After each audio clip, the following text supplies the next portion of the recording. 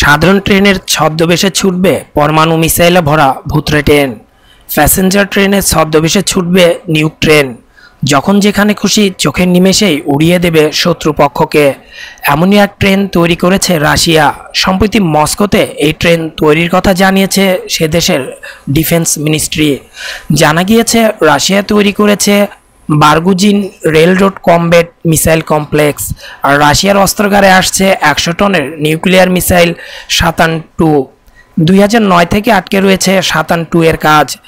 রাশিয়ার এই বিশেষ ট্রেনকে গোস্ট ট্রেন বা ভূতরে ট্রেনও বলা চলে। এটি একদিকে পনেরোশো মাইল বা চব্বিশশো কিলোমিটার যেতে পারে। খালি চোখে দেখে কোনোভাবেই এই ট্রেনকে পরমাণু ট্রেন বলে চিহ্নিত করা যাবে না। রাশিয়ার কমিউনিস্ট পার্টির মুখপাত্র পাবদাতে প্রকাশিত তথ্য অনুযায়ী সাতান টু ও এই ট্রেন প্রস্তুতির কাজ একেবারে শেষ পর্যায়ে রয়েছে। জানা গিয়েছে, সাতান টু মিসাইলটির গতিবেগ হবে চার দশমিক তিন মাইল বা সাত কিলোমিটার প্রতি সেকেন্ড।